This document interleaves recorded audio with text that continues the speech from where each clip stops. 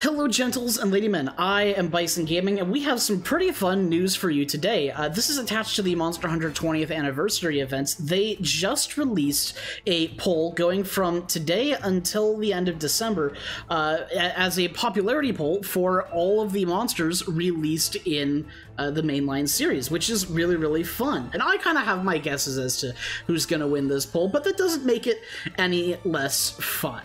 Um, now, as for what this is involving, uh, just for voting, you get this cool special wallpaper uh, for your phone.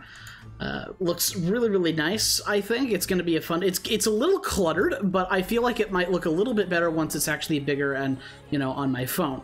Uh, and the other thing is the other kind of reward for this is that the first, second, and third places will each have uh, their own original illustrations from Capcom, which is really, really cool. Now we all kind of know that the winners are going to be Nargacuga, Zinogre, and probably Raging Brachydios, but that doesn't matter. What matters is that we represent. We need to vote my conscience, not yours, mine specifically, and that means all, we're all voting Bazelgeuse.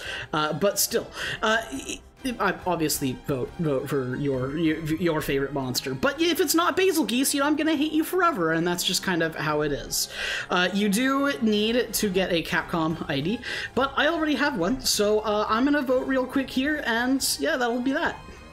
Alright, so here's our, our, screen. From here you can filter monsters. You can just search the monster's name or filter uh, by monster type, all that cool stuff.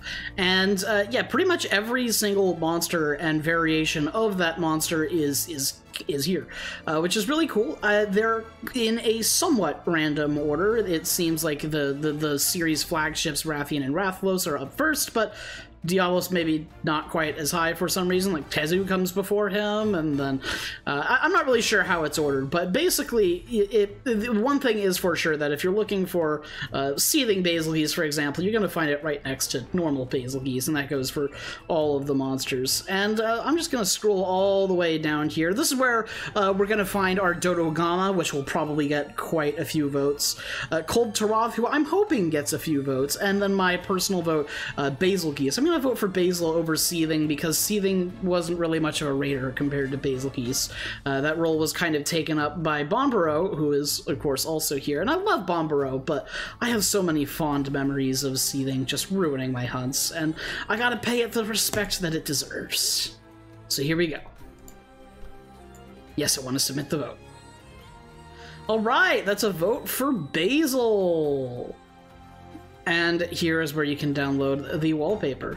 All right, and yeah, that's pretty much it for today. Thank you so much for watching, gentles and ladymen.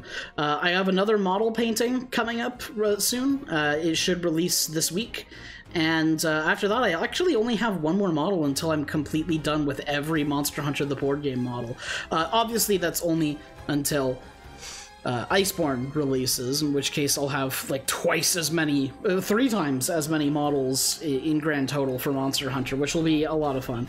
Uh, but uh, you know, we're gonna we're gonna do some other Monster Hunter content. I have some other Monster Hunter content besides just painting planned, and you know that'll be a lot of fun. So, uh, so get get ready for that. Subscribe if you're not already, and have a great day. And goodbye.